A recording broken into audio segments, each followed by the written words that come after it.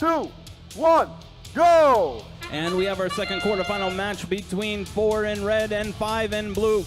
We've got all of our robots off the half platform.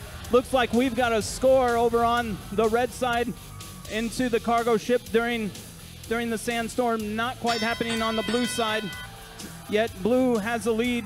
Actually, it's now 20 to 15 in favor of the Red Alliance. Red Alliance once again having to win to stay alive. Blue looking to move on. 20 to 15 still. Texas Torque with some cargo. Nuts and bolts playing defense.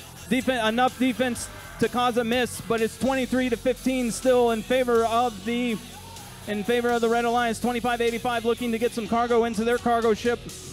And it just bounces out. Still 25 to 15. 10 point lead. 10 point lead for the Red Alliance.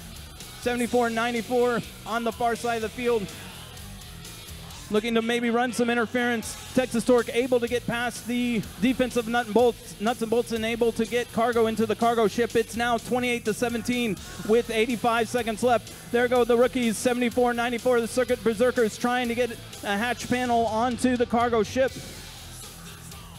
Texas Torque, I believe, had a hatch panel, but defense knocked that loose. Looks like the rookies were able to get that hatch panel onto the red cargo ship. 70 seconds left, 31 to 22 in favor of the Red Alliance. Some really tough defense there from Nuts and Bolts. They back off though a little bit, and Texas Torque able to get cargo into the cargo ship. 34 to 22 now, 34 to 27 with 50 seconds left, 5 0 seconds. 52 61 on the red side. Heading over to the feeder station, getting themselves some cargo.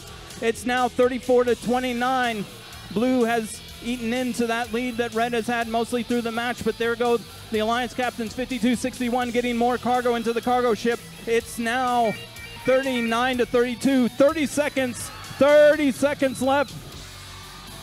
We've got some furious scoring and defense happening 44 to 37 in favor of the Red Alliance. The 20 second sound. That was the 20 second sound. Time to go in for end game. Texas Torque looks to be up on the highest level. They're joined by 5261 on the low level. Over on the blue side, we've got three robots on the low level. And it looks like the rookies are on the low level for the Red Alliance as well. We need to get in-game scoring and penalties sorted, and we'll get you official results in a moment.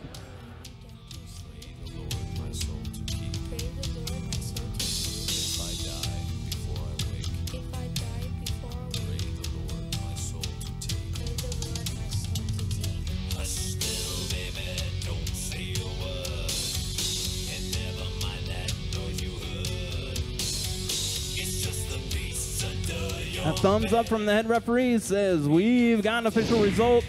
Looks like that match is going to the Red Alliance. The Red Alliance won that match 64 to 48. They have even that quarterfinal set up at one match apiece. They will be going to a rubber tie breaking match later on.